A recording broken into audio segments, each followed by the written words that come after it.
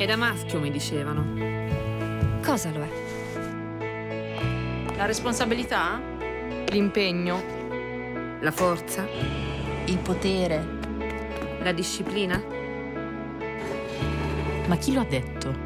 Oggi questo è il mio lavoro e lo dico io.